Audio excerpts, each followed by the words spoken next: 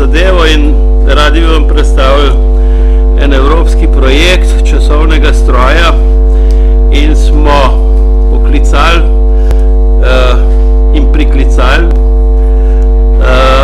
Rimljane iz Pretorium Lakovitorum in bi radi danes predstavili, tukaj so legionar Lukas uh, Nehrabrius Bolognese in uh, Nikita Malinus Blondus iz Legije Plin. Izvolite.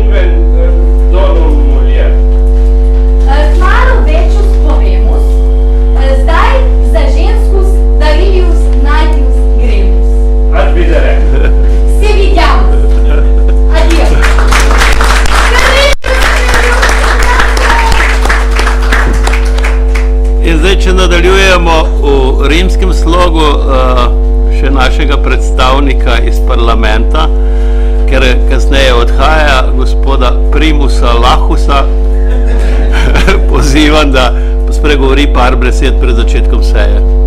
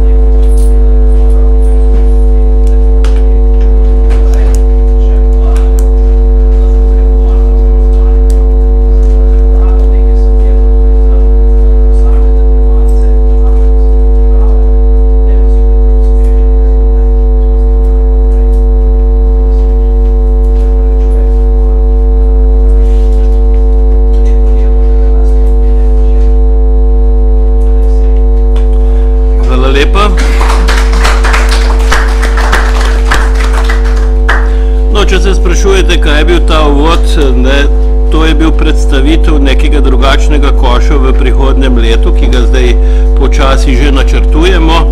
Sicer je pa za današnji dan sklicana najsta redna seja občinskega sveta, z vabilom ste dobili pa tudi dnevni red. Želi kdo kakšno točko umakniti z dnevnega reda? Gospod Kaplan.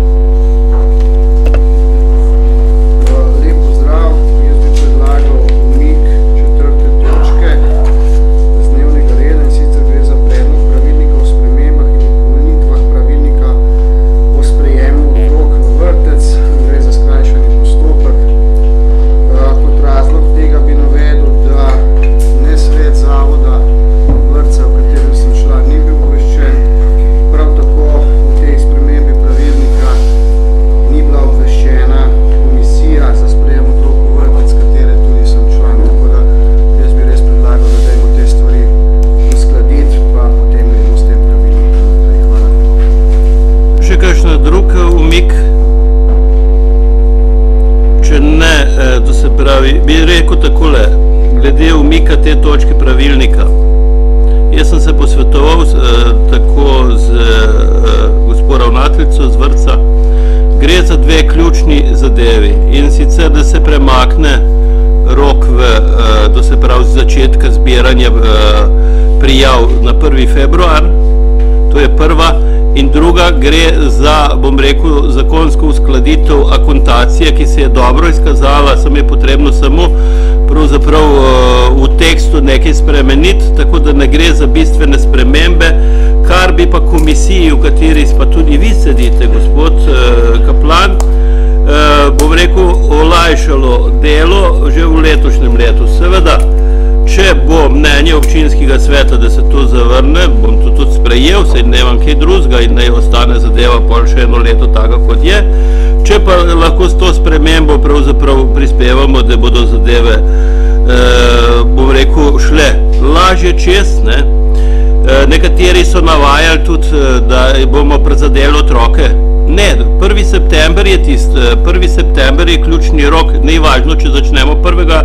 ali pa, eh, eh, aprila zbirati eh, eh, upise ali pa 1. februarja. To se pravi, ključni datum za otroka in za vključitev otroka v vrtec je 1. september. Takrat, to se pravi, eh, in ne glede, koliko je ot- otrok star 1. februarja ali pa 1. eh, aprila, se ta postopek začne in ključni datum je. Tako da predlagam, da se temu ne.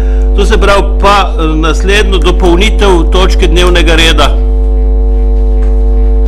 Ja, gospod Kaplan.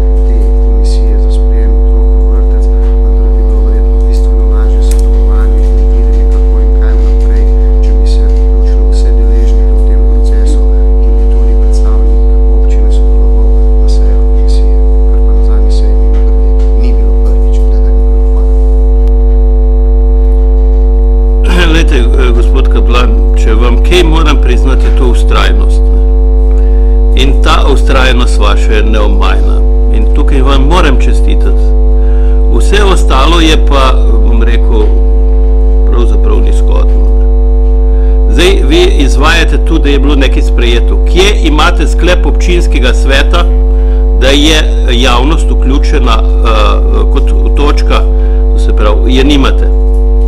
Mi smo samo to obravnavali in smo vas in, o, iz razprave jasno videli, da smo vas napotili k spremembi poslovnika in statuta, da te zadeve se pravzaprav pravno formalno v procesu uredijo. Pozvali smo vas tudi, da eh, predložite zakonsko podlago za tako iz zakona o lokalni samoupravi, pa tega niste naredili in pravzaprav na en čuden, trapast način ustrajate pri tej točki. Jaz bom sicer dal na glasovanje, vendar pa to več ni dostojno. In prehajamo na glasovanje. Oba predloga so od gospoda Kaplana. Najprej za umik točke dnevnega reda za skrajšen postopek pravilnika o spremembi in dopolnitva pravilnika za sprejem otrok v vrtec. Glasujemo, kdo je za.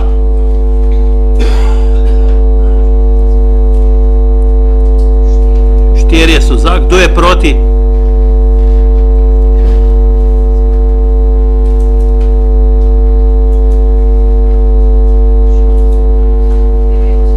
Devet proti, to se pravi, točka ostane na dnevnem redu.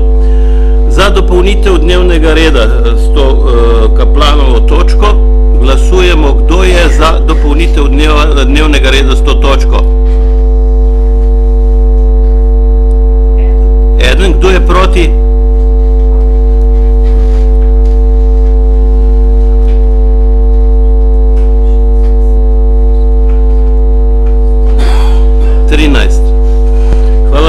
Tem je dnevni red sprejet. Danes je še ena posebnost in sicer naj pozdravim tudi gospoda Veseliča, ki je danes kot svetnik prvič med nami. Dobrodošel, lepo pozdravljeni. Prejšnjim, na prejšnji seji pa smo vas že imenovali in proceduro, tako da imate pravico tudi glasovati, ker sem videl, da niste. Ne? Gremo na prvo točko dnevnega reda, pregled in potrditev zapisnika desete redne seje občinskega sveta občine Trebne z dne... Eh, prosim.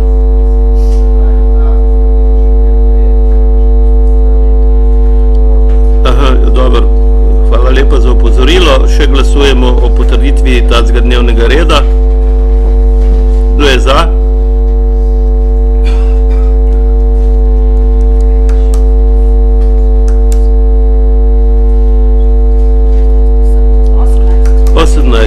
Kdo proti? Eden. Hvala lepa. Prva točka dnevnega reda, pregled in potrditev zapisnika desetega redne seje. Ima kdo kakšno pripombo na zapisnik? Če ni pripomb, prehajamo na glasovanje. Glasujemo, kdo je za zapisnik desete redne seje občinskega sveta.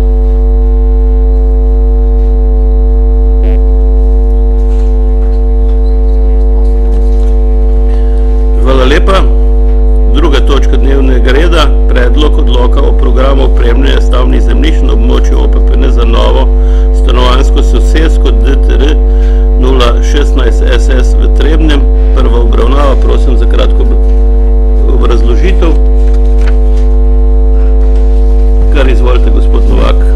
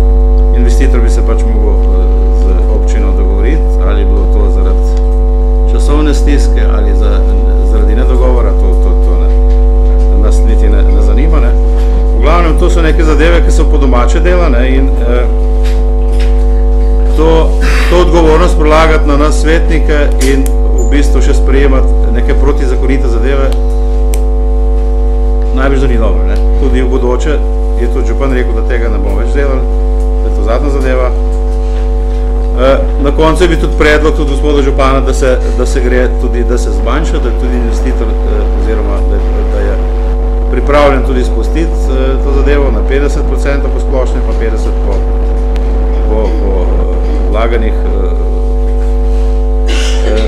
pa vseeno to ni bilo sprejeto. Hvala lepa. Zdaj, faj bi del še jaz nekaj povedal. no. Se pravi, ko se pogovarjamo o, eh, po odloku ali pa po splošnem odloku, ali pa to ne gre za po splošnem odloku, ali pa to. gre za to, kar je bilo v tej potezi zgrajeno, je ena infrastruktura, ampak tam, ki se je priključil, to se pravi, ki se je vodovod priključil, pa že obstaja infrastruktura, cesta, že obstaja do tam. To se pravi, je tudi minulo vlaganje občine sorazmerno temu. Ne? In moramo tisto, kar se, tistih 20%, kar se zdaj nanaša, kakšno bo razmerje, konc koncu, je stvar občinskega sveta, predlagatelje, se pravi, in sklepanja. Danes to obravnavamo v prvi eh, fazi. In jaz bi to mirne vesti zavrnil, ta odlok. Ampak, kaj naredimo, če to naredimo? Če to naredimo, te ljudje ne bodo mogli zdaj pa večina te zemlje že pro, prodana. Se pravi, ljudem, mladim družinam onemogočimo, da ali pa po splošnem odloku spet zadevo, se pravi, ni bilo fair, kar se je naredilo, vendar pa konc koncev enkrat bomo mogli ta gordijski vozel presekati. In to se pravi, danes je vodovod na Pelahtem, zadeve so delali, je delala tudi komunalna med drugim, kar se mi zdi, da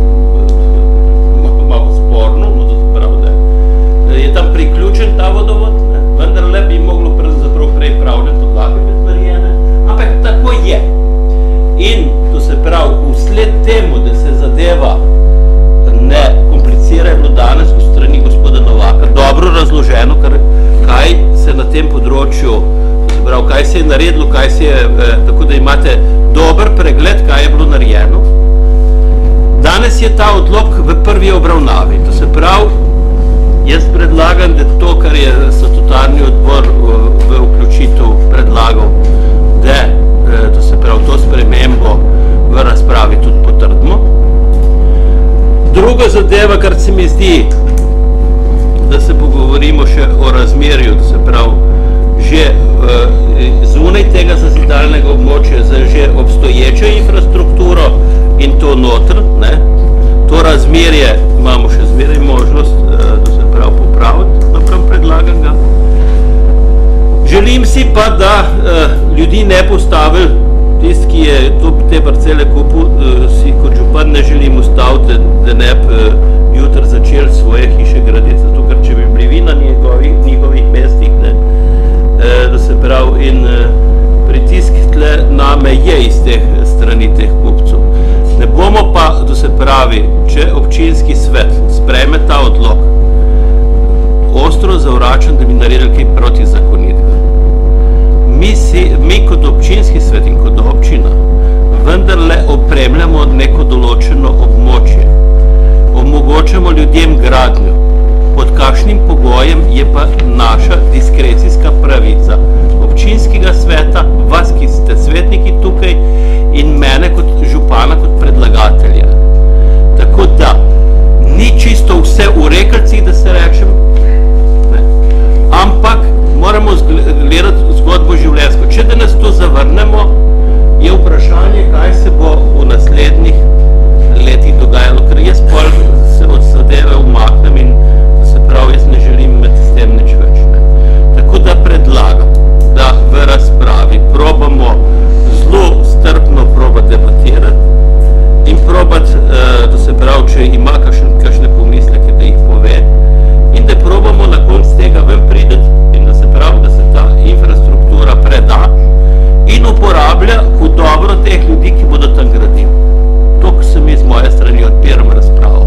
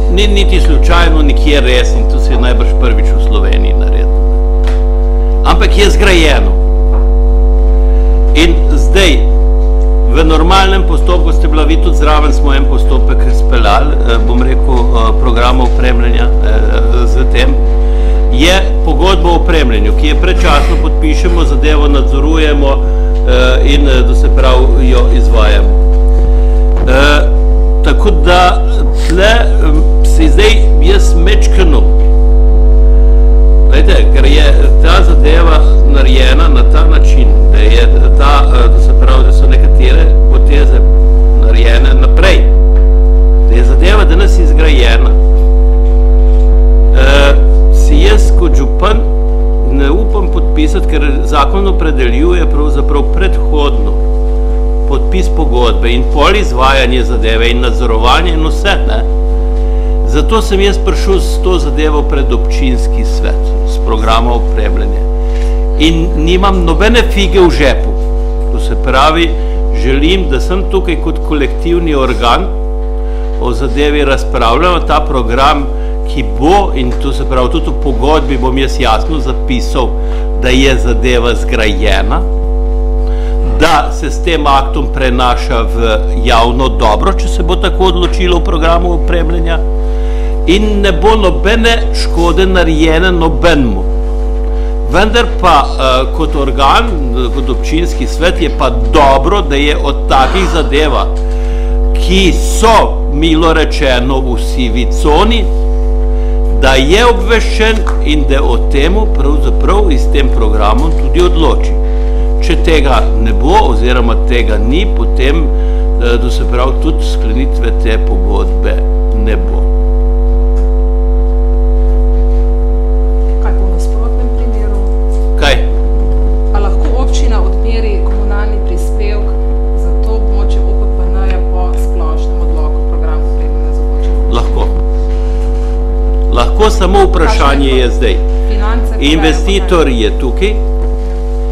Investitor, to se pravi, kako se bo kdo priključeval, zdaj, če nazaj potegniš vodovod.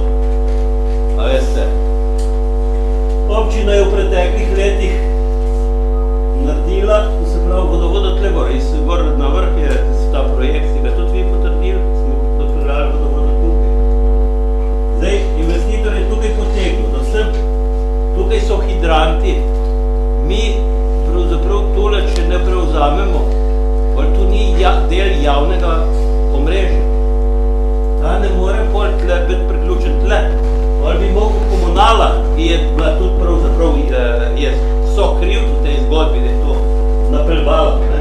Pol bi mogla komunala dati soglasje za priključitev temu, recimo, kad tle gradi, tle no, dal, na temle mestu, pol mora on svojo cel kopati se. Ne? In bo on 8 jurjev plačal za eno tako srednjo hišo in to se pravi, nima tle vodovoda, ki je tle vodovod pa napeljan. Če to danes potrdimo, se sklene ta pogodba, se ugotovi, da je zgrajeno, bo on vodovod tle. Javna razsvetljava tudi ne bo nažgana, pa najbrž ne bo služila svojemu namenu, ki je zgrajena, se tle, ne? Da se pravi, kar se druge, jaz ne vem, zdaj ta del je tudi od investitorja, ta del ceste, ali, bo, ali bo dal, da, da pripeljajo po tej cesti. Ne. Tle je, to se pravi, vse se rekel, to je gordijski vozu, ki ga jaz na občinski svet sem sem zato prinesel, da ga probamo skupaj presekati in probamo tem ljudem tam omogočiti. Drugače pa jaz se na tak način ne bi šel. Ne. Želi še kdo razpravljati? Gospa Mateja. Jaz bi sem še vprašala, kaj je bolje za občino in kaj bolj za investitorja oziroma naročnika programa opremljanja po tem odloku, ki ga imamo danes, ali po 100% po uh, veljavnem odloku za območje občine? Za, to se pravi, za občino, za občino, bom rekel tle, finančno gledano, bi bila boljša varianta, da je, ampak naredimo to zmedo na, na, na samem terenu. Kje bomo priključevali kjerga? Ne? Če, da se prav gledamo to, Če pa gledamo na splošno, to se pravi, občina pri tem ne bo nič oškodovana. Dejansko to, kar je v programu opremljanja, je cena tega, kar je narejeno, je evidentna. To se pravi, mi bomo dobili v last in posest te vode, to cesto, to se pravi, eh, v materialu se reče, ne, javno razsvetljavo. To se pravi, mi dobimo to v materialu, tako kar je narejeno na terenu, del opreme. Del, to se pravi tistih 10 tisoč, dobimo pa v financah, v denarju. Ne? To se pravi, je ta del, eh, tle se mi ne zdi nič sporega. Mogoče je, eh, mogoče je ta razmerje lahko še spremeniti, da bi bil ta del, se pravi tudi finančni, eh, za občino še malo ugodnejši. Ne? Ampak to bi vmes med prvo in drugo obravnavo.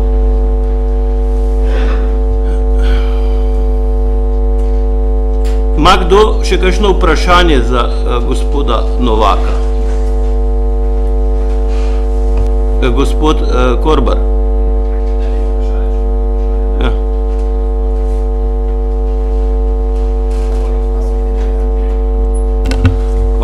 Besedo, lep pozdrav vsem. Uh, mislim, da je problem večplasten in ga ne smemo gledati samo iz enega vidika. Po eni strani je treba pogledati, kdo vse so strani, ki so vključene v ta problem. In se strinjam, da je to velik problem in da ga je, bo pač nekoč treba rešiti. Prva občina, ne, potem investitor in potem novi lastniki. Vsak s svojimi težavami, glede na to, kakšno od rešitev ali pa odločitev bomo mi danes sprejeli. Po drugi strani pa zdaj ta problem ni samo pravni ne, ali pa finančni, ampak je tudi tehnični. Tehnični vidik ne smemo zanemariti. Ne. Če imamo mi zdaj že neko infrastrukturo na lokaciji narejeno, je po mojem mnenju treba gledati na tak način, da se bo tudi tehnično uh, optimalna rešitev najdla, da ne bomo mi zdaj prišli do kakšnih takih uh, ekscesnih situacij, da bomo ponovno gradili eno infrastrukturo, ki je tam že narejena. Sicer se ne predstavljam, kako bi to sploh bilo narejeno, ker če je to zemljišče v privatni lasti, kaj bo bolj mogla občina služnosti iskati potem po tisti, po tisti umestni cesti, ki je zdaj predvidena po tem odloku, da postane javna in se potem tudi javna infrastruktura po njej tam nahaja in vzdržuje. Ne. Uh, tako da, po mojem je tu treba uh, še eno stvar pojasniti. Uh, na odboru je bila nekaj debata na to temo, tle pa še ni bilo nič rečeno. Ne? Uh, ali gre tukaj za res za nepoznavanje strani investitorja, ali gre za neko namerno ali pa samovoljo strani investitorja in je to po mojem tudi eden od bistvenih elementov pri tem, kako se bo kdo od svetnikov odločil. Najmanj, kar bi pa mogla naša odločitev dati jasno sporočilo, je pa to, da takega načina ne odobravamo in da ga tudi na nek način sankcioniramo. Ne? Ker če bomo zdaj dali neko za tega investitorja, če je bila res samovolja, ne? pa še posebej, uh, ugodno rešitev, potem lahko kar pričakujemo, da bomo čez dva meseca dobili od naslednjega ali pa celo izga investitorja še en tak predlog na odločanje. Tega pa po mojem si nobeden od nas pa res ne želi. Tako da bi najprej to strani občinske uprave informacijo, če je lahko kdo da. Uh, jaz sem zato, da se zadeva reši zdaj čim prej. Uh, zamislimo si vsi od nas, ali pa večina, je že bila v situaciji, ko je uh, bila tik pred tem, da bi začela zgradno hiše in vsaka taka uh, zapletancija, kaj to pomeni enih ene negotovosti, enih dodatnih stroškov, zamik pri projektu, ki je življenjski in mislim, da na ta del moramo pa tudi gledati. Hvala lepa. Dajmo še besedo investitorju. Izvolite. Lev na mikrofon pa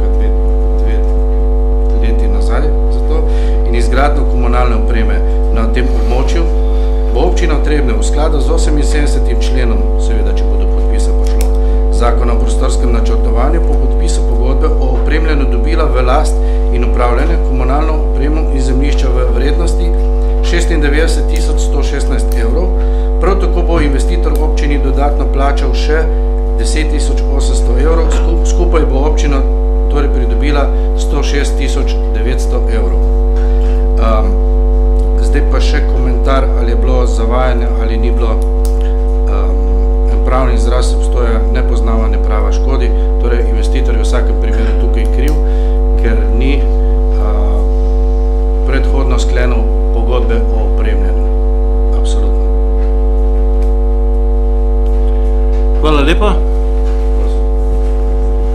Uh, gospod Kaplan.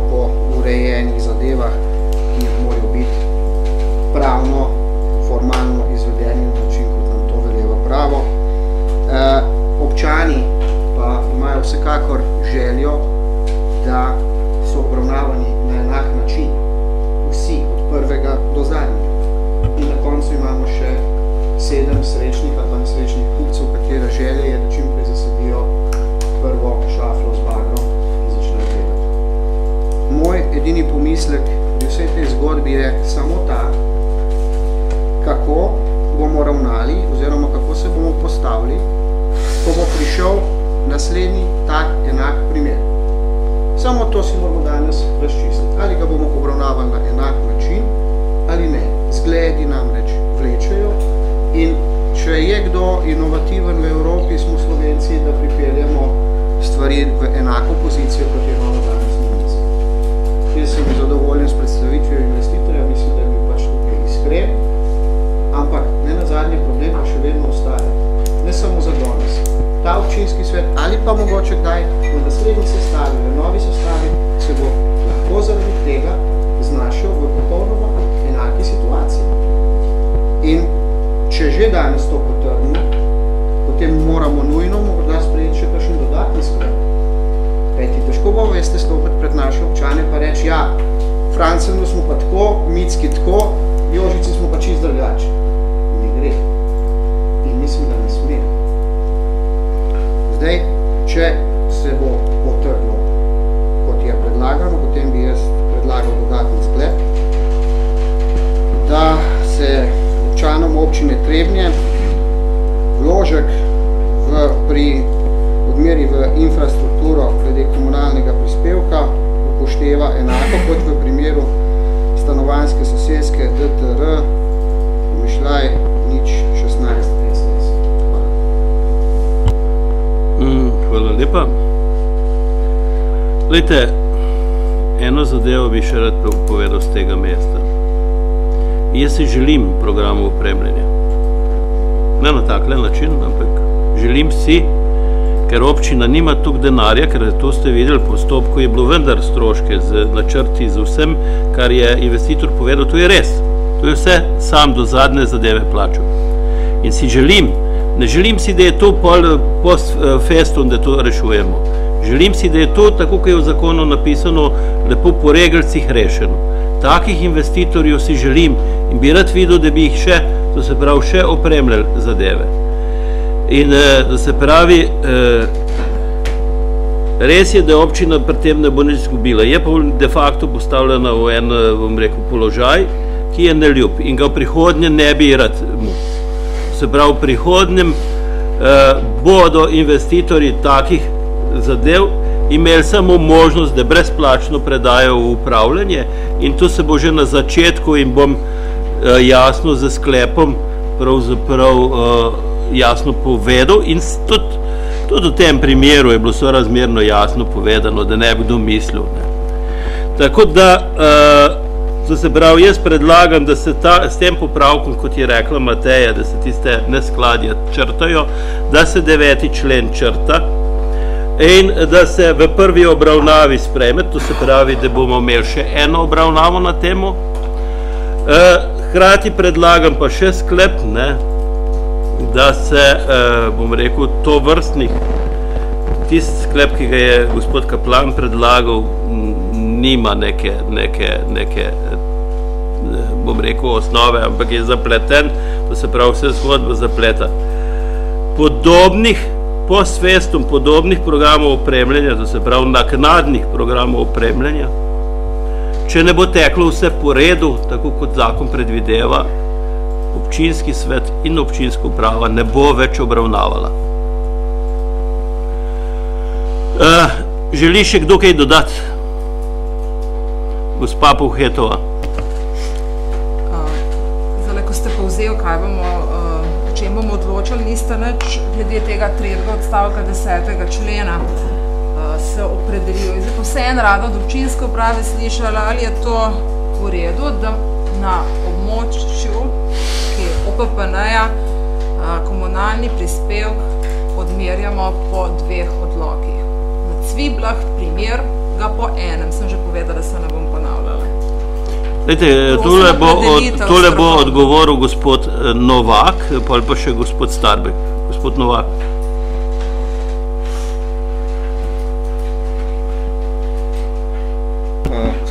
Hvala za besedo.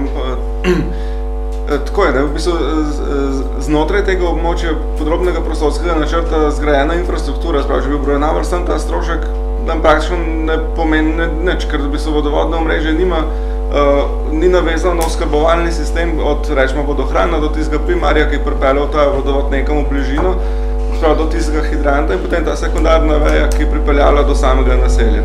In uh, prav je, da se tudi za, za ta del, za obremenjevanje te uh, primarne, primarne infrastrukture porovna ta del stroškov. Ne. Zdaj, oblika poravnanja je pa tako, kar pravi, ali skozi odločbo ali pa skozi, skozi pogodbo o opremljanju. Zdaj tukaj v tem odloku se predlaga, ker ta zunani svet, svet izven območja OPPN-ja, ki se ureja odlok, ki ureja obstoječo komunalno opremo na območju celotne občine. In mislim, da je prav, da se notar dikcija mogoče se, se, mogoče se popravi tudi tako, da se ne sklicuje konkretno na odlok, ampak se sklicuje mogoče, naj se izračuna višina tega uh, torej komunalnega prispevka za obremenitev obstoječe opreme pod, pod dokumentu oziroma ki ureja od, od, odmerjanje komunalnega prispevka za obstoječe opremo. Ne. Mogoče bi bilo tako, tako lažje.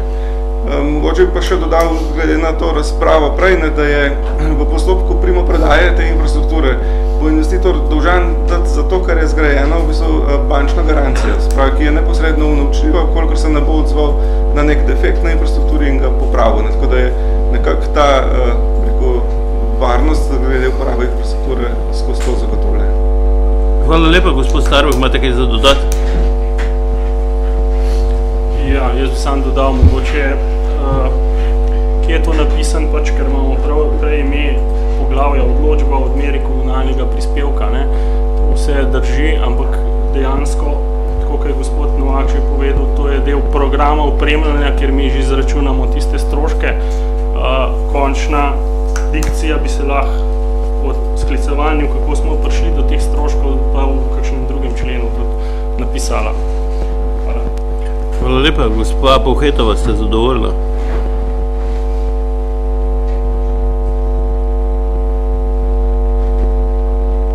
Me, v čem je problem?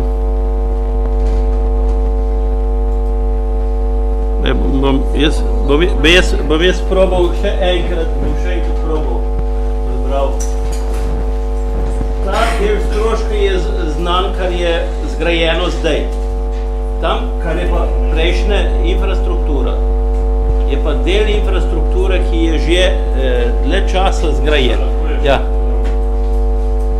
Um, v bistvu, če to gledava, ne, ta drugi odstavek bi bil bolj primeren uh, po devetem členu, kjer bi se opredelili, kako smo prišli do nekih stroškov izven območja OPN-ja. Upoštevanju, uh, bi rekel, prispevka občine v komunalno infrastrukturo. Pa to drži? Predlagam, da to do druge obravnave odloka formulirate, pa bomo potem se o tem pogovarjali. V redu. To se pravi, eh, sprejme se tako spremenjeni odlok. Ja, gospod Kaplan.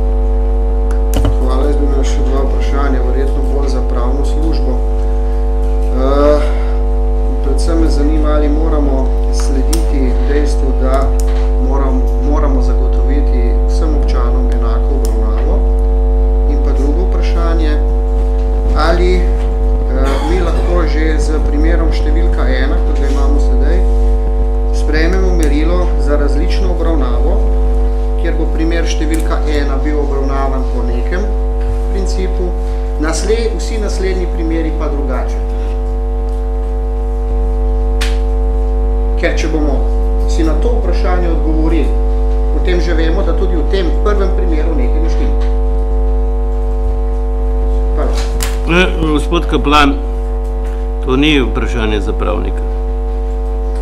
To je vprašanje kmečke logike. Kmečka logika je v tem, da je bil en del opreme narejen in da je zdaj ta eh, samo prenašamo v last občine, s tem, to se pravi, dobimo materialno vrednost, na drugi strani dobimo pa še en del v denarju. In to pomeni, da enakopravno obravnavamo vse občane. Na kakšen način je plačen komunalni prispevek, je pa, to se pravi, ali je to v izvedbi ali je v, v, v denarju, je to bistveno vprašanje tle. Ja, gospod Kaplan, izvolite. Jaz sem prosil za pravno obrazlago, ne pa za uh, obrazložitev kmečke logike. Hvala.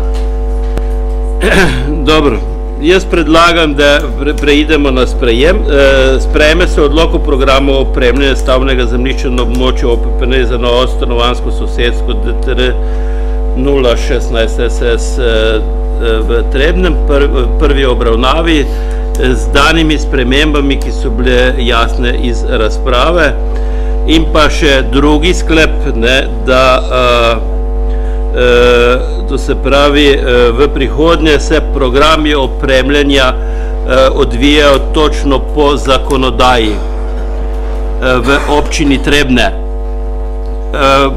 Predlagam glasovanje v kompletu, če, če ima kdo kaj proti, bomo po, po posameznem sklepu. Kaj? Po proceduri, tako kot je na, na, na, Eh, Dobro, ta prvo o tem ta prvem sklepu glasujemo. Kdo je za sprejem v prvi obravnavi?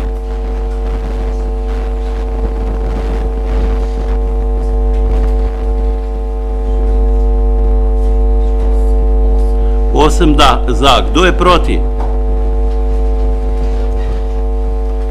Dva.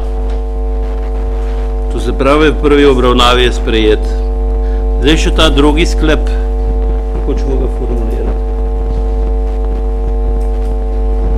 No, pa ta drugi sklep ali pa v drugi obravnavi še zraven, bomo o tem, eh, o tem še mečken premislili, ne? Ja, gospod eh, Kandelari, izvolite. Jaz se nisem zdaj oglašal, ampak zdaj pa v bistvu razmišljam tudi tako, ne. Um, nekaj treba tudi komunali reči, ne. Ker mislim, da je tudi tam krivc tlele komunala, ki se te tak posel tudi spustila. Jaz mislim, da je to tudi napaka, ne. Ne morajo oni to priključiti, ne, kar tako. Oziroma ne bi smeli, kot, ne, se so ja neka javna služba, ne. Tako da ne vem, ali bomo rekli tako, ali bomo kakšen sklep Je tudi na zapisnik, ne, da se pravi opozorilo Oni komunal... upravljajo javno službo in se takih stvari pač ne bi smeli. Ne. Ja. Opozorilo komunali, da se ta zga, takih rabotov oziroma takih poslov ne gredo več. S tem je točka izčrpana, prehajamo na naslednjo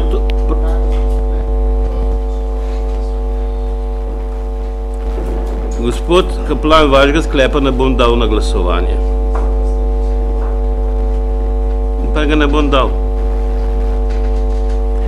Naslednja točka dnevnega reda. Predlog odloka o prenehanju javnega zavoda Romske zaposlitvenega centra skrajšani postopki. Gospod Kaplan, vas bom dal odstraniti iz te sobe. Ja, mislim, da je pa res zadnji cajt. Tega pa še res nisem doživel. Dej. Spo- nek red pa morate spoštovati v tej sobi.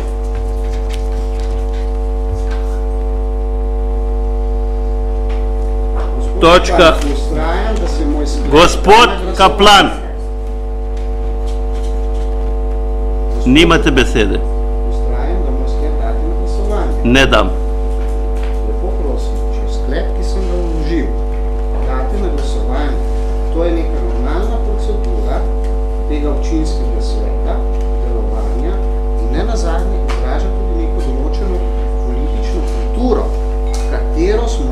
Gospod. Kaplan, pa niste, eh, resnično lepo prosil, da se držimo nekih norm, ki veljajo v tej dvorani. Ne nazadnje. Gospod Kaplan, mir, utihnite. Lepo prosim, če date sklep, ki sem Nimate besede. Ponovil ga bom še enkrat in sicer sklep se je glasil. Občanom Deset minut prekinjam sejo, takrat bomo Kaplana odstranili. Ni potrebno. V tem času bom tudi spakiral, ampak upam, da bomo v sklepu glasovali.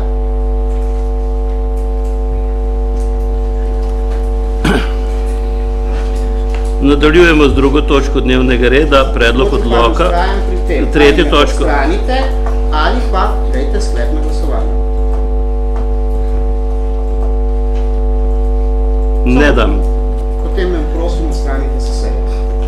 Predlog o prenehanju javnega zavoda Romski zaposlitveni center, skrajšani postopek. damo sklep na glasovanje.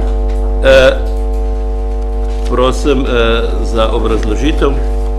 Prosim, če date sklep na glasovanje. Damo. Hvala za besedo.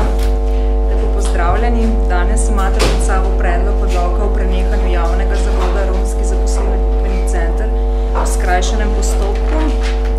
Občina Trebnje je namreč strani občine eh, Škocjan prejela ta predlog osnutka odloka in sicer eh, zaradi dejstva, da ta zavod ni nikoli finančno posloval, je smiselno, da se sprejme predmetni odlok. Eh, Finančnih posledic kot takih v bistvu bodo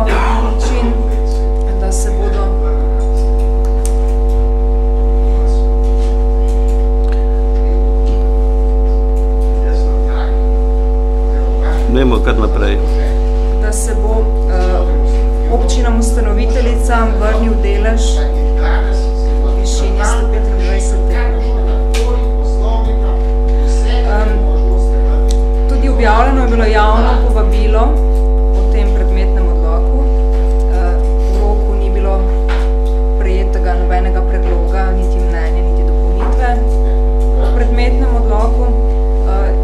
Predlagatelj pa predlaga, da se odlok sprejme po skrajšanem postopku iz razloga, ker gre za prenehanje veljavnosti splošnega akta. Hvala. Hvala lepa. E, To je obravnaval tudi odbor za družbene in gospodarske dejavnosti. E, Pooblaščen za to pa je e, gospod Zajc. Izvolite.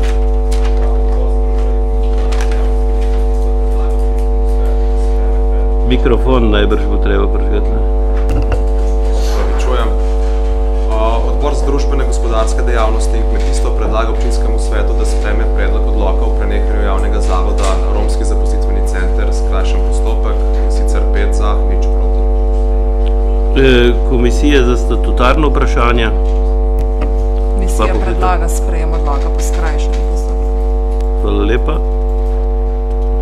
Želi kdo razpravljati? Če ne, prehajamo na glasovanje o predlaganem sklepu. Glasujemo, kdo je za.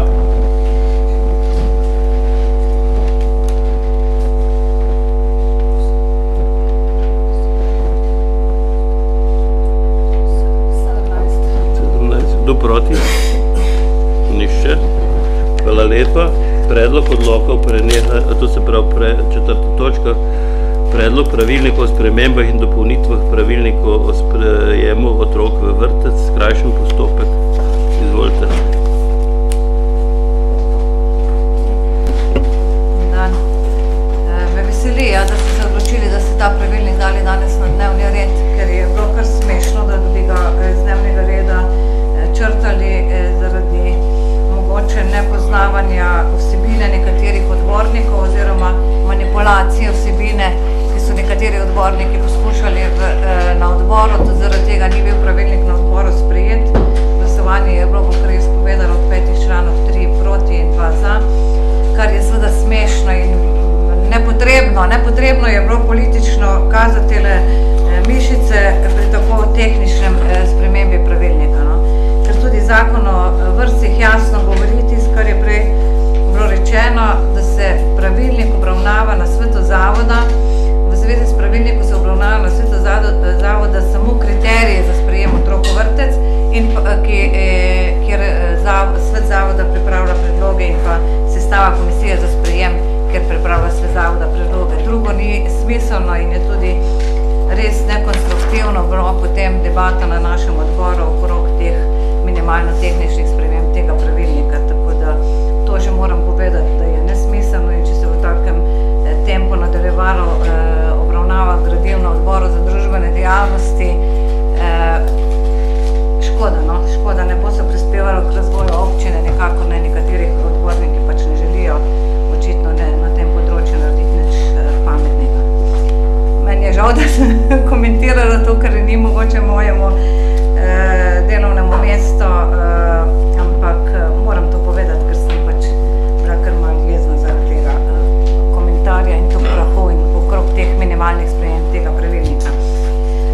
Spremembe so pa res minimalne, kot je župan že prej povedal. Edina sprememba, ki je mogoče vredna razprave, je ta, da se premakne čas upisa vrtca iz 1. aprila na 1. februarja. To gre dejansko za to, da se postopki lahko v vrtcu, v obeh vrtcih, mi smo že lansko leto imeli strani vrtca Sončnica in vrtca Maurica, predlog za takšno spremembo pravilnika, ker je bil predlog podan šele februarja oziroma marca in ker je bil eh, sprejem eh, otrok v vrtec stik pred vrati, smo rekli, noč počakajmo še eno leto, ugotovimo, kakšne spremembe bi lahko še nastale v zvezi s tem pravilnikom oziroma če se bojo pojavile še kakšne druge tehnične težave pri sprejemu otrok v vrtec in o vodenju te procedure, bomo potem to predlagali v naslednjem letu. Vrtci so se dvakrat okrog eh, teh eh, zapletov pri sprejemu otrok v vrtec sestajali, pregledali eh, pravilnik in ugotovili dejansko, da gre samo za te tri spremembe, predlagali skupno in sicer predlagajo iz aprila na februarja, zaradi tega, da se bodo te proceduralne eh, postopke lahko zaključili še pred eh, dopusti. Eh, ne gre samo za dobro vrtcev, da bojo lahko to pred dopusti naredili, gre tudi za dobro staršev, da se ne bojo v času dopusta ukvarjali z podpisi pogodb po vrtcih in ne vem kje še kaj, da bojo lahko vsi postopki pritožb zaključeni in da bojo lahko potem tudi oddelki eh, pravočasno oblikovani eh, za sprejem otrok v vrtec. To je ta sprememba, potem je še ena sprememba v 15. členu, kjer gre za eh, natančnejšo opredelitev premestitev iz enega vrtca, recimo iz Sončnice v Maurico. Potem gre še za eh, uskladitev datuma, ki je bil v spremembi pravilnika, ki smo ga sprejemali eh, na zadnje, ni bil usklajen z eh, osnovnim pravilnikom oziroma z ostalimi spremembami. To je datum 15 eh, rok. Potem pa še eh, pos- drobneje smo definirali in razčlenili zapis o eh, akontaciji oziroma kadar se premakne iz enega vrtca v drug vrtec, kako je s to akontacijo, da se izplača eh, iz tistega vrtca, eh, ker gre oziroma da potem v drugem vrtcu to akontacijo plača. To gre res dejansko za tehnične spremembe in jaz upam, da boste o tem premislili in v dobro in racionalizacijo teh postopkov in počasnost tudi o tem eh, smiselno sklepali. Hvala lepa. Eh, Gospod Nino Zajc, eh, odbor za družbene dejavnosti. Hvala za besedo. Sicer sem tukaj obveščen strani predsednice odbora za družbene gospodarske dejavnosti in kmetijstvo, ampak to še ne pomeni, da, se v bistvu lahko gospa Trdina je tako, kako bi rekel, izpluvala samo delo odbora in. Sam sem sicer glasoval proti uh, in s tem je tudi posledično tudi moj glas užalila. Uh, gospa Trdina je imela tudi čas, da se pripravi na, na, samo, uh, na samo sejo in pa ta obrazložitev podati tam. Do tega ni prišlo, tako da smo odborniki bili samo obveščeni s tem, kaj, kar se, s tem sprememba, kar se v praksi dogaja, kak, uh, katere spremembe so predlagane, ne pa dejansko, da gre to samo za tehnične spremembe, ki so po zakonu dovoljene. Um, Kakor je uh, že odbor je uh, za družbene gospodarske dejavnosti to obravnaval in sicer um, občinskemu svetu, da sprejme pravilnik o, uh, o spremembah in dopolnitvah pravilnika o sprejemu otroka v vrtec po skrajšanem postopku, vendar ta predlog ni bil sprejet. Kakor je že gospa Trdina to omenila, uh, proti dva za. Hvala lepa, Komisija za statutarno vprašanje. Uh, Naša komisija je predlagala predlog uh, pravilnika v sprejem naprej, pri čemer pa, da naj pobudnik sprememb pravilnika dodatno obrazloži razloge za spremembo upisnega roka. Mi se vsebino nismo spuščali, ker to ni naša pristojnost, ampak v gradivu, v razlogih je napisano samo zaradi časovne in organizacijske izvedbe. Uh, Če lahko dopolnim nekaj, je že gospa Trdino uh, omenila dodatne razloge, med drugim potem čas dopustov in tako naprej, roki za pritožbe in tako naprej. Potem pa še ena stvar, uh, 15. člen, uh, naj, da naj pripravljalec predloga pravilnika, formulacija spremembe 15. člena dopolni, tako da bo to uh, jasna in nedvoumna določba. S tem namenom je bil ta pravi, pravilnik, ta sprememba umeščena, ampak mislim, da tam nekaj manjka in da je zadeva še zmeram nejasna, tako da ne vem, mi smo nekaj predlagali, če ste vi kaj na tem našem predlogu delali, boste pa povedali. Mm, Gospa Trdina.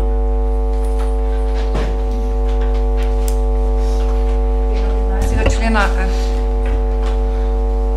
ja. To pomeni, da če starši podajo premestitev v drugi zavod, ta zavod plačano akontacijo vrne staršem. Pravi, če eh, starš plača akontacijo v eh, vrtcu Sončnica in se potem premesti v vrtec eh, Maurica, vrtec Sončnica vrne staršo akontacijo, potem pa zavod, ki je sprejel premestitev, se pravi vrtec Maurica, ki je sprejel to premestitev, pisanem otroku ponovno zaračuna akontacijo. Se pravi, starši dobijo akontacijo nazaj tam, ker je otrok bil prvotno upisan.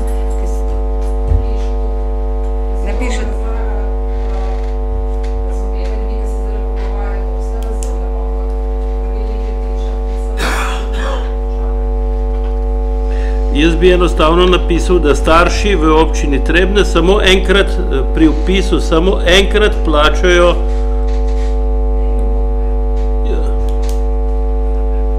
Ja. Ja.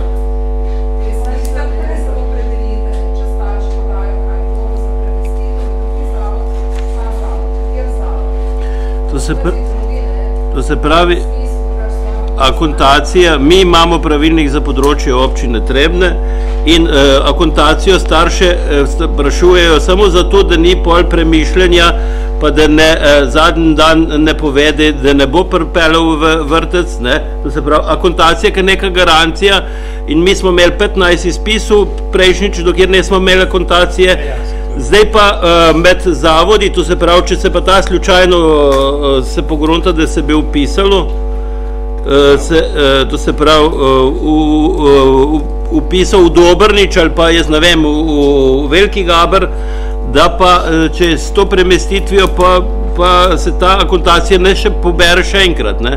če jaz to prav razumem. Hm? Drugi zavod, ta zavod, kaj je zdaj to ta zavod? Ja. Ni jasno, ne, treba ne vem. Prvi zavod vrne plačano starše, ker imamo tle drugi zavod, ne. Vejca, ta zavod, kateri ta, ne? Drugi ali prvi, ne? E, kaj, eh, Katera vrna kotacija ne? Ja, Prvi, ne, mogli pisati ta, ne, ampak bi mogli prvi zavod. In namesto besedice ta, bi mogli pisati prvi zavod. kaj? Ja, izvolite. Mislim, da stvar tehnično ni sporna in se vsi s tem strinjamo, samo dikcija je pa nerodna oziroma je nejasna. In jaz predlagam, da se samo besedica ta zamena z besedico prvi. In potem bo jasno, da prvi zavod, se pravi tisti prvi vla, pra, vrne in potem drugi, se pravi zavod, ki je sprejel premestitev, pa ponovno zaračuna. In potem se jasno. Ampak še to, samo v primeru, če je ta zavod na območju občine Trebne. Ja,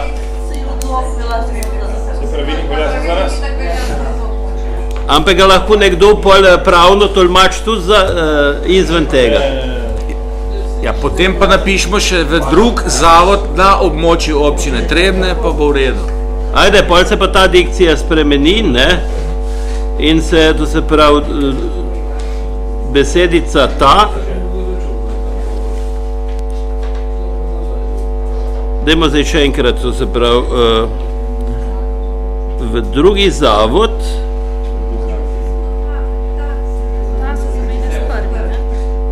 ta se zamenja s prvim. Če lahko besedo, župan. Ja. Izhaj, hvala za besedo, lepo pozdravi. Ne. Mi smo na sejo danes prišli svetniki. Ukvarjamo se, kako bo en člen, kako se bo napisal. Mateja je imela odbor.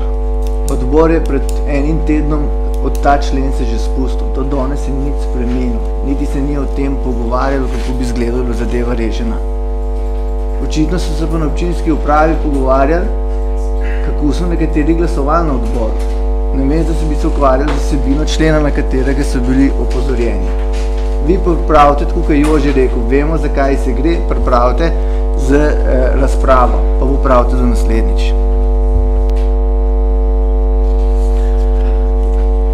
Ja.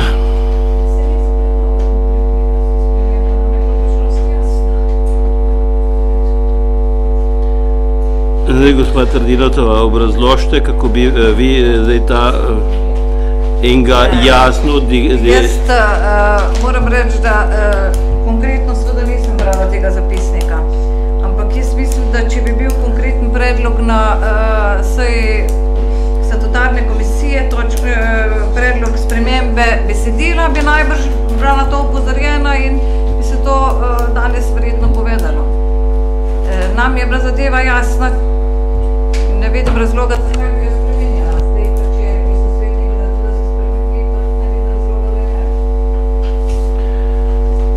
Ja, pa dajte povedati vendar čisto konkretno ta spremembo. Ja, dikcijo pa nič drugega, nič filozofirati. Če starši podajo premestitev v drugi zavod, prvi zavod plačano akontacijo vrne staršu. Zavod, ki je sprejel premestitev novo upisanega otroka, ponovno zaračuna akontacijo. Ja, kaj pa un, eh, na območju, velja na območju občine Trebne? Drugi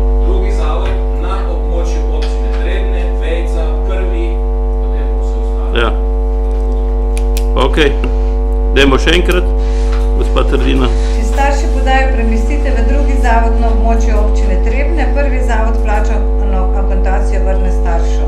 Zavod, ki je sprejel premestitev novo upisanega otroka, ponovno zaračuna akontacijo. Ok. Zdaj je dikcija s tako spremenjeno dikcijo dajem eh, na glasovanje. Ali želi še kdo razpravljati? Ja, gospod Zakrajšek. A ja, nič.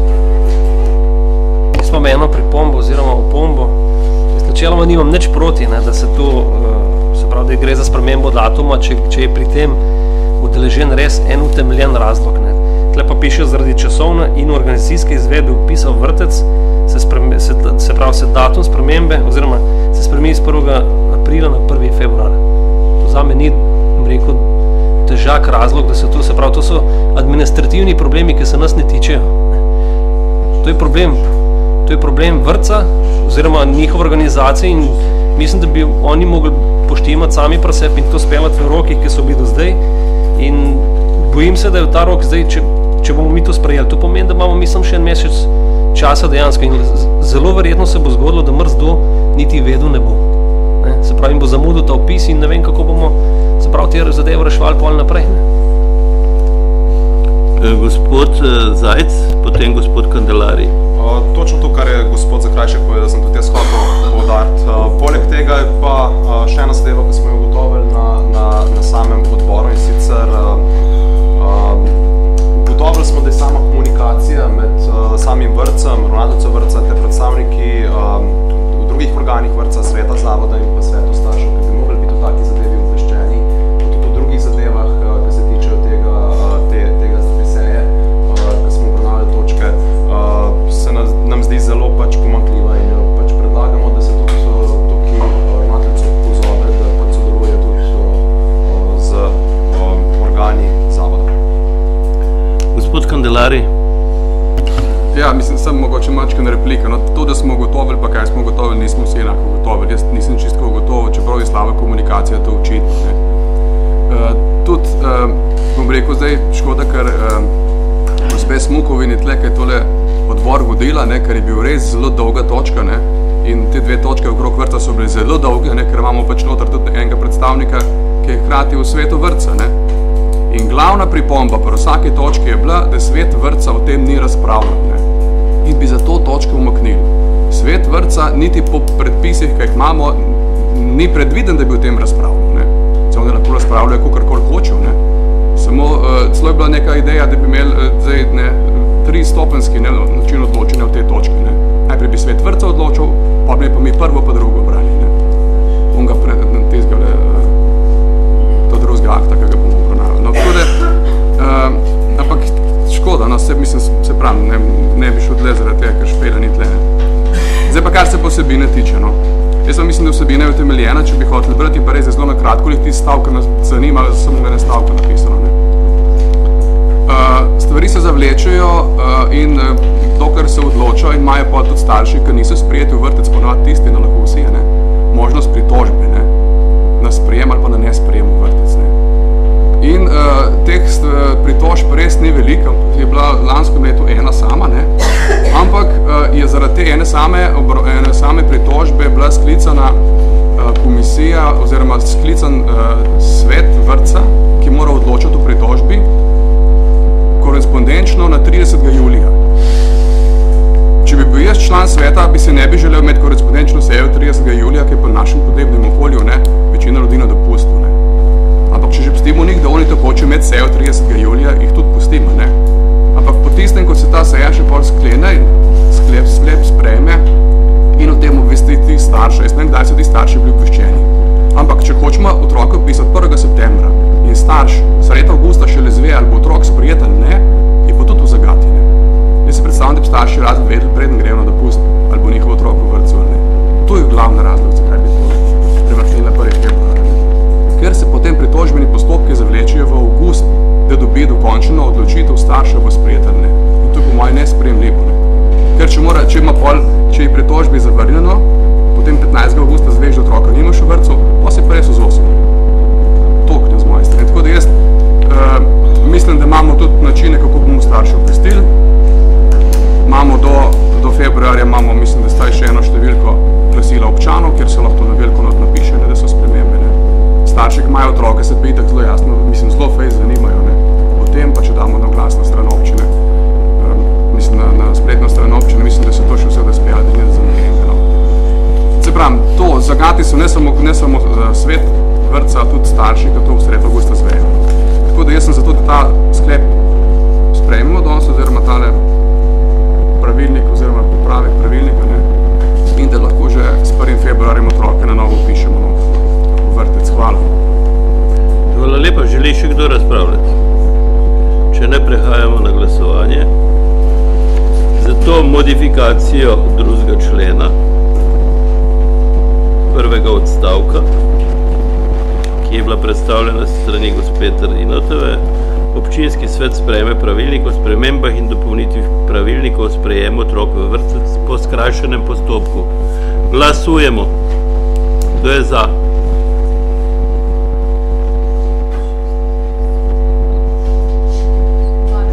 Dvanajst do proti.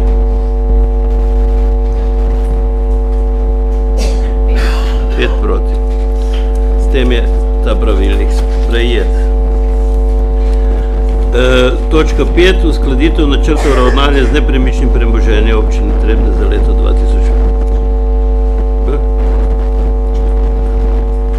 Sprejem otrok. Peta. Načrta ravnanja z nepremičnim kaj? Ja, izvolite. Ja. Bi še enkrat pravilnik, ali kaj? Pred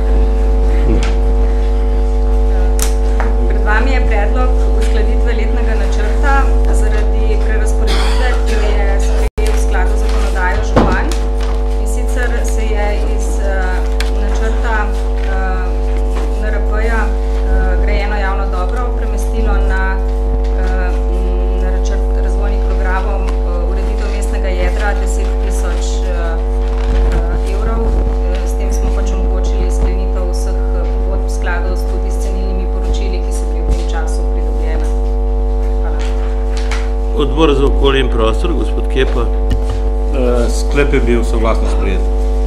Hvala lepa. Želi kdo razpravljati? Če ne prehajamo na glasovanje, glasujemo o sklepu, ki je v gradivu. Kdo je za?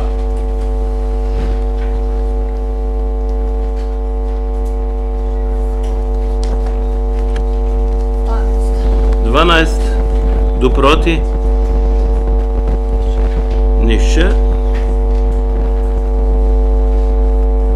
Naslednja točka dnevnega reda. Sklep o vrednosti točke izračuna domestila za uporabo stavbnega zemljišča v občini Trebna za leto 2016. Na kratko,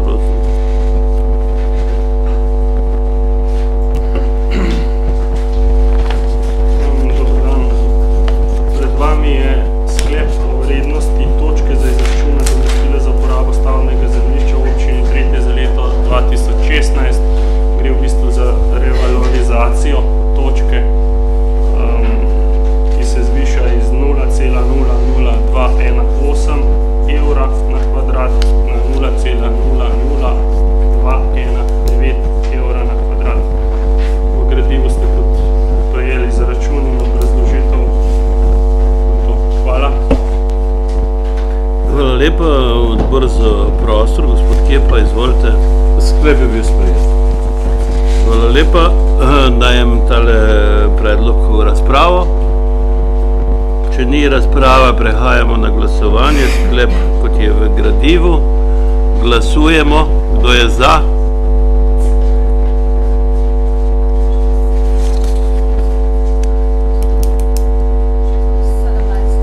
Sedemnajst do proti.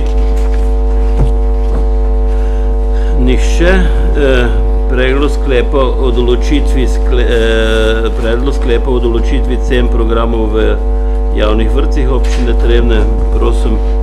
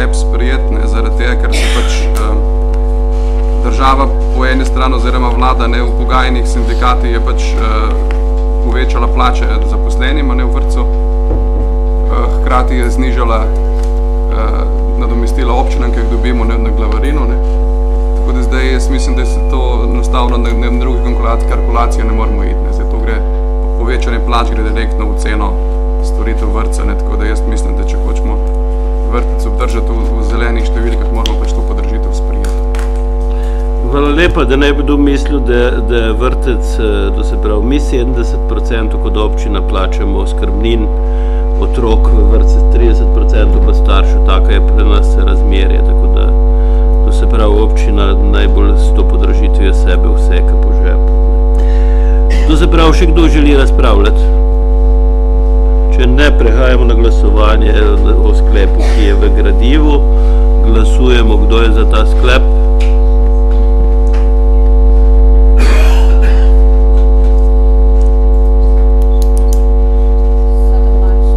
17. Kdo proti? Nihče. Eh, točka 8, prosim, gospod Trdina, to na kratko.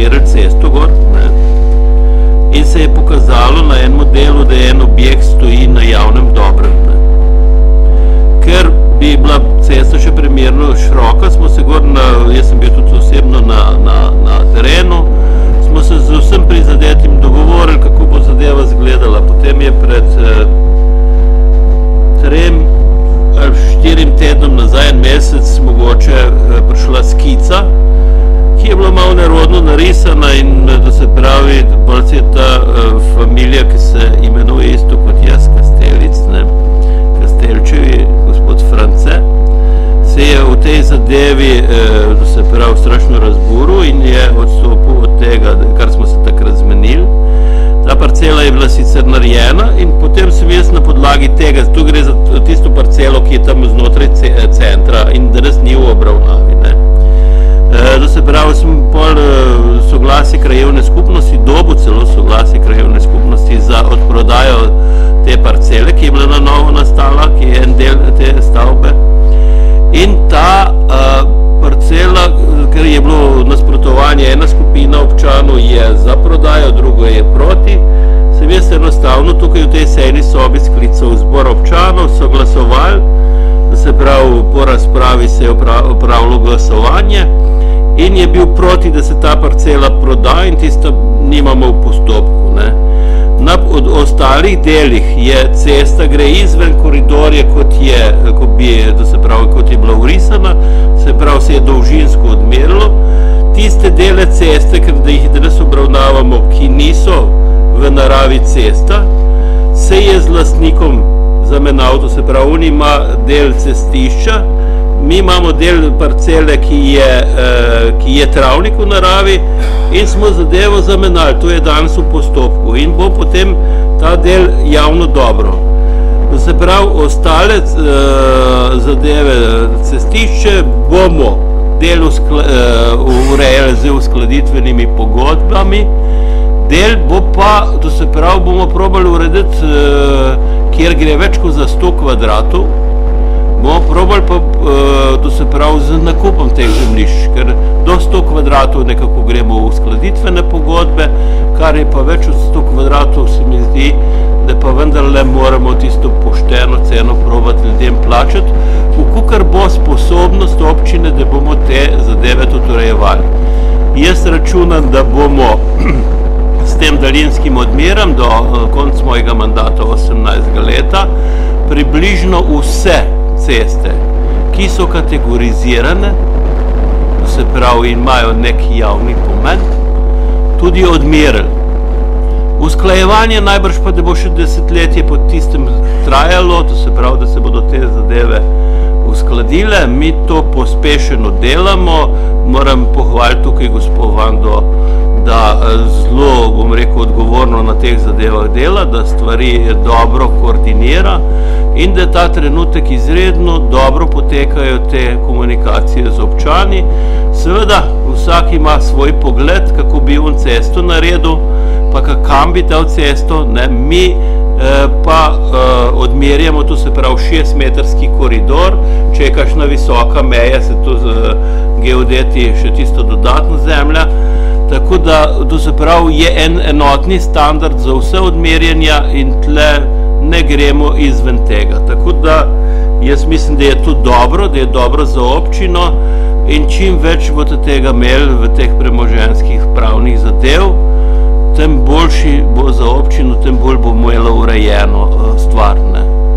Tako lahko rečem, da smo ena redkih občin, ki smo to zelo resno pristopili k temu, to bo pa tudi prihodnih, eh, prihodnim vodstvom in občinskim svetom lažje pri upravljanju teh cest in pri izvajanju investicij. Ja, izvolite.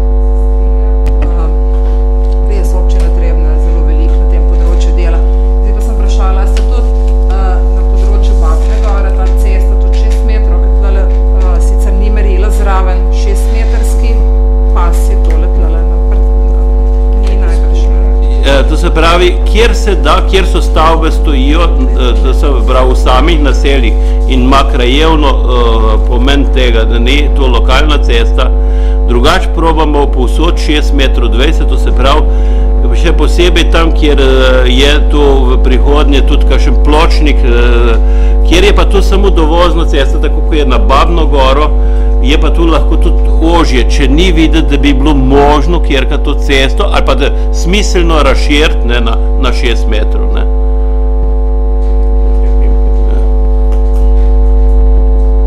Še kakšno drugo vprašanje? Lahko opravimo glasovanje v paketu ali želite, da posamezno glasujemo? To se pravi, če ni nasprotovanja glasovanja v paketu, bom dal v paketu na glasovanje vse premožensko pravne zadeve, da z enim glasovanjem sprejmemo vse sklepe, ki so v gradivu pri premožensko pravnih zadevah. Glasujemo, kdo je za te sklepe.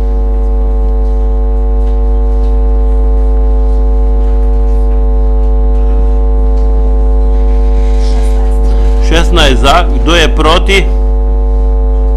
Nihče. Še deseta točka.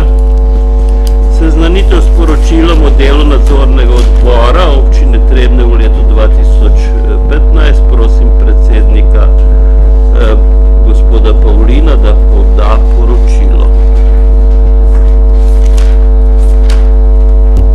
Eh, Lep pozdrav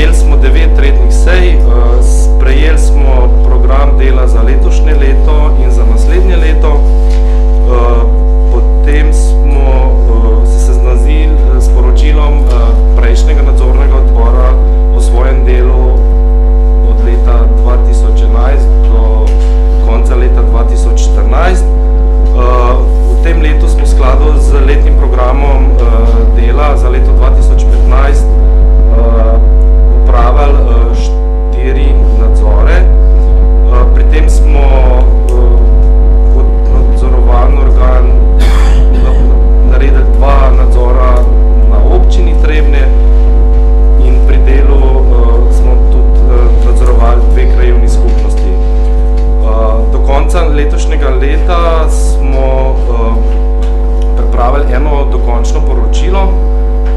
To je bilo poročilo o porabi proračunskih sredstev na proračunski postavi 11017, to je vaše središče Selce. Eh, Eno, eh, eno poročilo je, smo pripravili osnutek poročila, ki je bil posredovan samemu nadzorovanemu organu. Eh, Pri krajevnih skupnostih pa smo, pri eni krajevni skupnosti je samo poročilo, osnutek poročila v fazi pripravi, en sam nadzor je pa še v izvajanju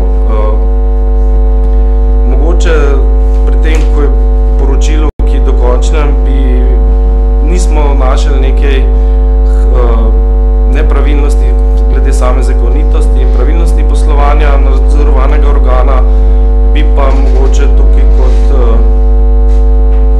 organ, ki odloča o samih večjih investicijah, opozoril na razmislek uh, odločitvi za in proti investicijam, če se izkaže, da sama investicija poleg te uh, stroškov investicije v prihodnje še prinaša neka finančna bremena za občino ali pa krajevno skupnost. Uh, samim sklicem seje ste po to točko dobili tudi program za naslednje leto. Tukaj vas bi pozval tako župana kot občinske svetnike, da skladu statutom mogoče našemu organu, nadzornemu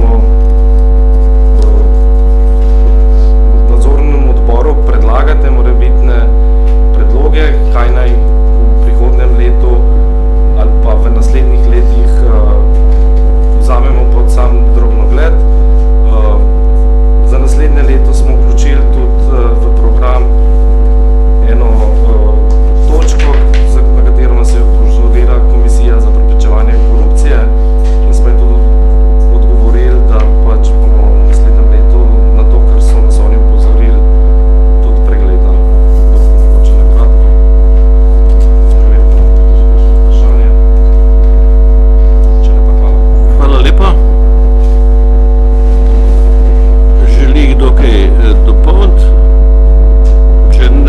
predlagam sklep, da se je občinski svet seznanil z letnim programom dela za leto 2016 in poročilom o delu za leto 2015.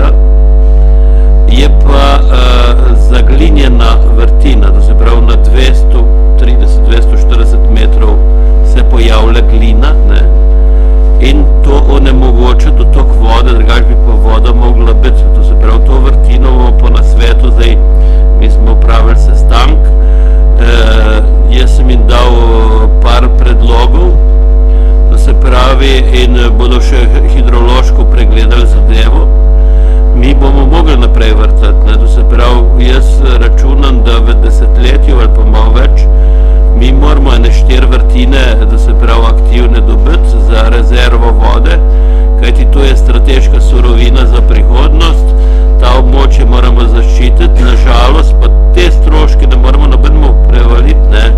Mi smo naredili strokovno podlago tako, kot je, eh, se pravi, usmeritev, vse smo preverili, to nismo na slepo vrtali, pa nisem jaz določil, kje se vrta, ne.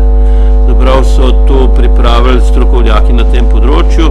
Nažalost pa ta zaglinjenost, eh, se pravi, pomeni, da bomo mogli premakniti zadevo. Kam jo bomo pa premaknili, bodo pa spet te isti povedali, ne, to se pravi, zgleda, da je ta kras eh, malo zajeden tle pod medvedjek eh, in to se pravi, ta zaglinjenost pomeni, da se moramo umakniti ne 500 ali pa 1000 metrov, pa še malo več, ne, od te vrtine. Ne.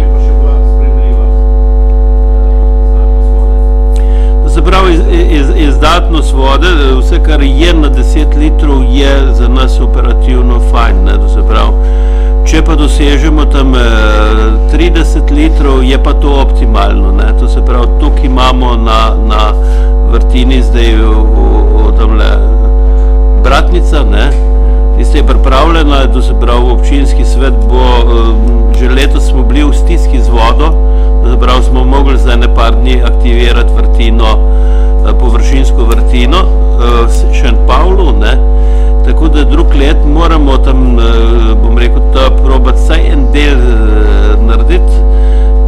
eh, Radanje vas počas eh, pada nivo, tako da eh, imamo določene probleme in bomo te probleme mogli, eh, bom rekel, uspešno rešiti, da bomo normalno oskrbovali prebivalstvo, saj v tistih delih leta, ko je ta suša, eh, eh, bom rekel, v- večjem obsegu. Mi imamo, da se pravi, in eh, zgleda, da gle- glede na vremenske pogoje, ki jih eh, so, eh, da se pravi, nam se v prihodnje obetajo te sušne obdobja, ne, in na to moramo, če bomo to vrtino prevezali, potem eh, bomo normalno dihali tudi v suši, ki so tudi šest mesecev ali pa več, ne, to se pravi, da pri takih, eh, pri takih eh, eh, nujno rabimo to povezavo, to se pravi, eh, bratnice za prihodnost, ne. Ja, izvolite.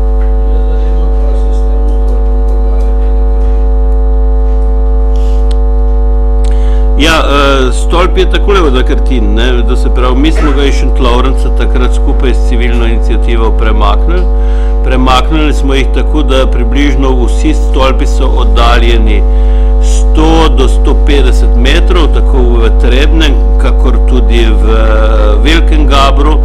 Tudi na Veliki Loki je, bom rekel, ena taka oddaljenost, tako da nekako zagotavljamo enako o, merno o, obremenjenost ljudi, tako da tle jaz kaj več ne morem povedati. No, se pravi, mi smo se s tem ljudem, to se gre za tri, štiri ljudi, ki iz Krtine prihajajo sem.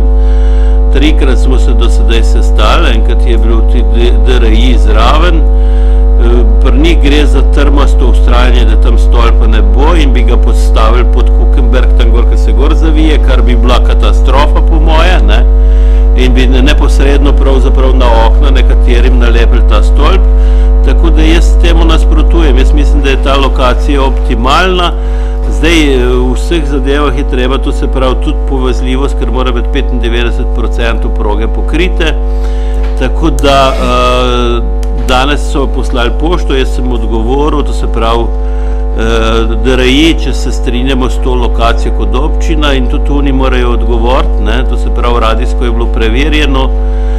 Eh, ne, nerodno se mi zdi, ker pa uh, bo ta, če bodo naprej ustrajali, bo železnica odragirala in lahko ta prehod, ki ga imajo zdaj do kmetijskih zemljišč, eni lahko zaprejo celo, ne, če bodo.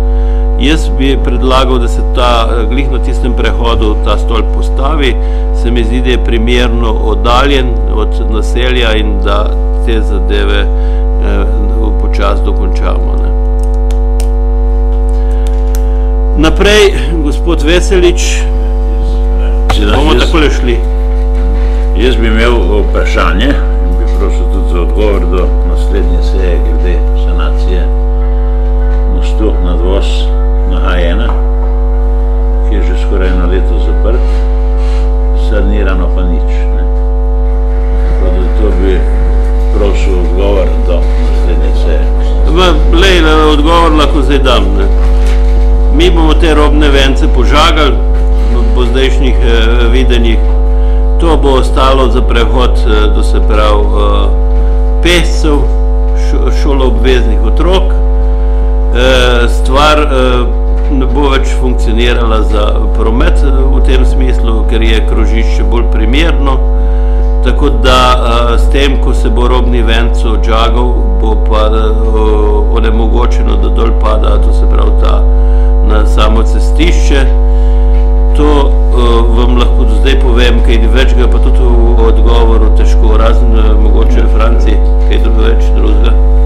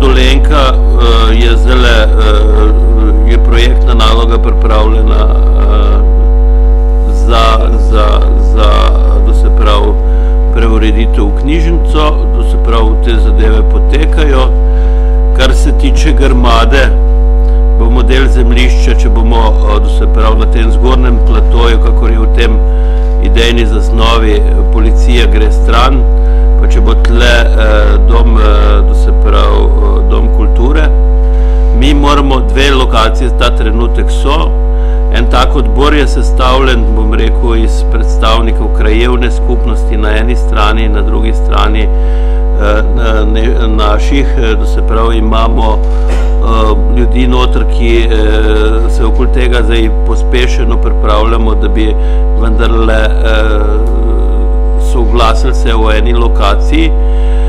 Preverke delamo, kako bomo pravzaprav, če je možno na tem zgornjem delu umestiti ali pa če bi bilo tam dol pre komunali umeščen ta kulturni center.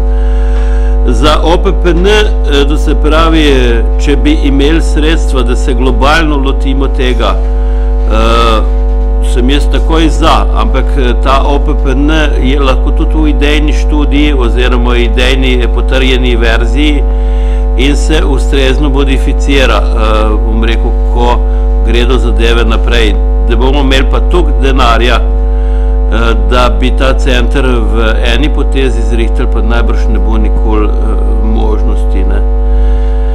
Tako da jaz mislim, da je ta dokument, kjer ga imamo zdaj kot osnova, ne, pa smo ga vam tudi dali, ne, se pravi, če je to primerno osnova, drugač bi pa po segmentih posamezno, ko bomo OPPN delali, ga bomo delali za kulturni center in ta je pa pravzaprav po našem vidiku tak, ki ga je možno, vsaj po zdajšnjih zagotovilih, ki sem jim na sestanku na ministrstvu, ta projekt je možno, da bomo v treh, štirih letih pravzaprav tudi dejansko izvedeli.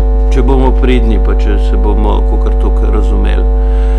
Drugega projekta, to se pravi, knjižnica naj bi bila tudi do konc mandata zrihtana, ne, to se pravi, zdaj eh, tle za eh, Grmado, Grmada je zaščiten objekt, eh, jaz mislim, da eh, v prihodnosti eh, bo služil na eni stran turizmu, na drugi stran pa tudi, bom rekel, da bomo začeli eh, kakšno spominsko sobo za te ljudi, ki so bili pomembni z tega področja, na drugi stran pa seveda tudi, eh, bom rekel, kakšne eksponate, ki bodo zanimivi za turiste in podobne zadeve. Ta grmada predstavlja, bom rekel, eno podjetnost Trebancev v preteklosti in želimo, da, bom rekel, to podobo obnovimo in iz tega naredimo pravzaprav tudi en reprezentativni objekt v samem centru.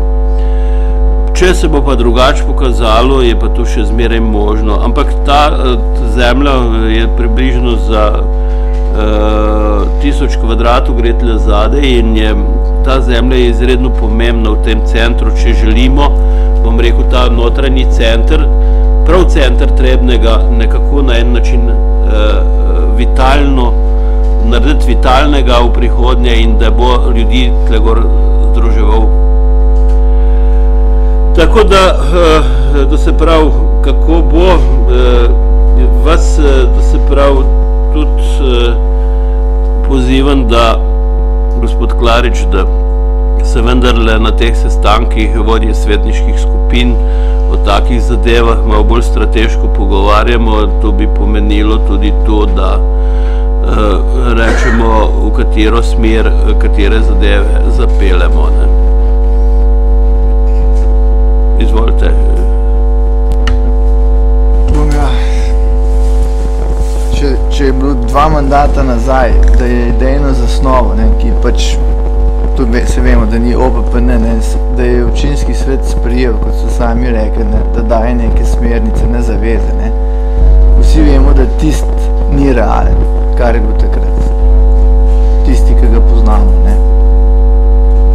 Jaz mislim, da je tudi sedanji občinski svet v tej sestavi je vreden napora z vaše strani, da se predstavi, kako bomo v Trebnjem šli naprej. Hvala lepa. Naprej? Jaz bi pa imela eno vprašanje, zdaj, ko ste omenili kulturni center in tako naprej. Uh, kaj to pomeni, da v bistvu najemne pogodbe za kulturni dom niste podpisali?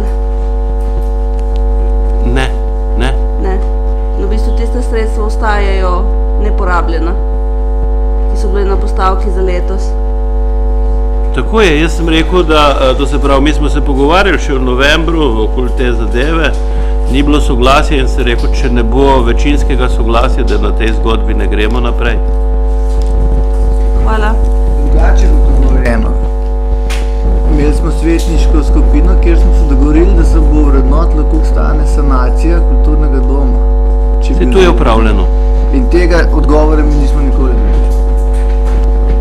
Se, eh, to je pripravljeno, ni pripravljeno. Ja. Je tudi poslano. Dobro, zdaj dajmo to takoj poslati, se, se, se pravi.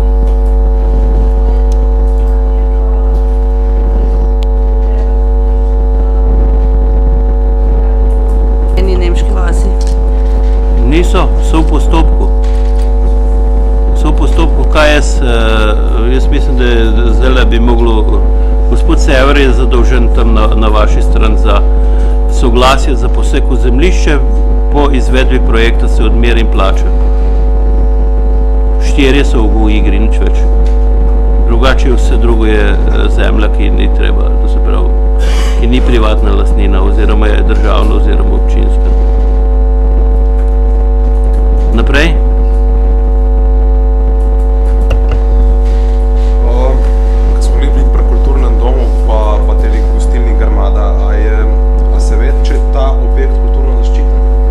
Ja, je, je zaščiten. In kaj, mislim, potem se kakšno rušenje oziroma bilo kakšna prenova, zunanja prenova mora biti v bistvu objekt tak, kakršen je sedaj, v taki obliki.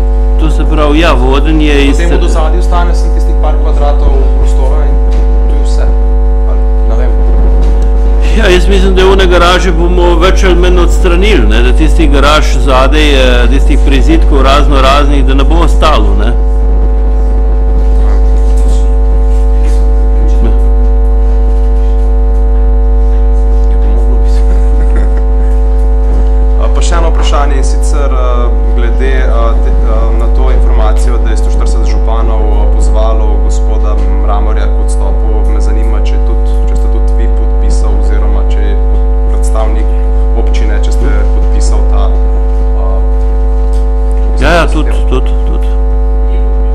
Je,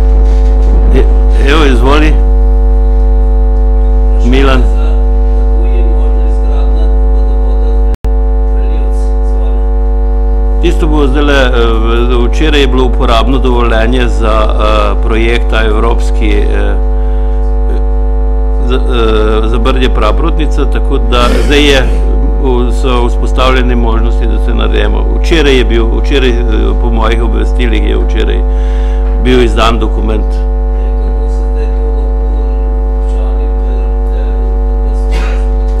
Ta prva zadeva je, da plača komunalni prispevek, potem pa uh, bomo mi tu zaprav, mislim, da če bo zdaj lepo vreme, da bomo hmal te zadeve poštimali, cel položili pa gre za 200 metrov cevi.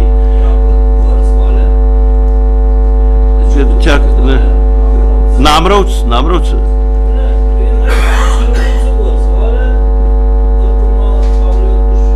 A tisto tam pa ne, ne, ne znam odgovor, tisto, tisto, tisto, tisto, tisto pa ne, ne. Namrovc je tle dol, eh, ja. Ja. To bi po- pogledali, ne vem, zdaj, zdaj. Ja. To je območje, kjer je, je življenje več tako pogojeno z prostorskimi akti, bomo pa zadevo pogledali, eh, se pravi, če imamo neko ekonomsko računico, da delamo vodovod, eh, se pravi, kukar tuk, če bomo pa vlekli kilometre samo za enega, zdaj jaz ne poznam si to.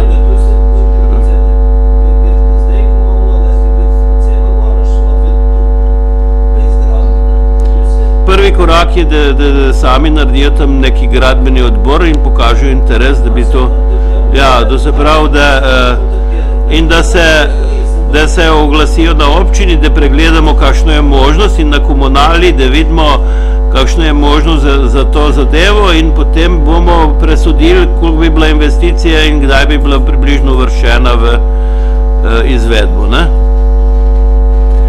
Naprej, izvolite Števka.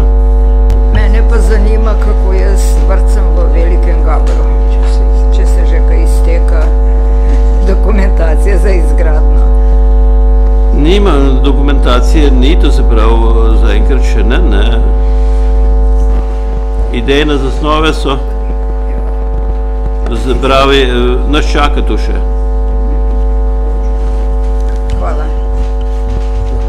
Ja, Jaz bi ponovno pozoril na tisto skakalnico, ne morem drugače reči. Grm, eh, zdaj imam te napisan, Grm plus, kaj je ta odsek, ne. Mali Gabr priješ na to republiško cesto in tam je dovoljeno po vsej zakonodaji 90 na uro. Če se jaz 90 na uro pripeljem, grem v luft. Lahko sam še postanem dol. Ja, to je nujno opozoriti, ker se bo nekaj zgodilo. Eh, Rad bi pa sam še to povedal, kako je z obljubo, da se bo odkupila zemlja, za, ki je kritlišče v Gabru, ki so upokojenci naredili, da bo občina to odkupila. je že narejeno. Ta del. Ja, gospoda Rusa smo kupili tisto zemljišče. Hvala lepa. Ja. Dobro, eh, hvala lepa za uh, udeležbo na današnji seji. Zdaj vse skupaj, ker smo pred novim letom, vabim, da se eh, premestimo tukaj do Pavlina, vabljeni so tudi novinarji zraven. Uh, uh, ja, v aparatu uh, gospod predsednik nadzornega odbora.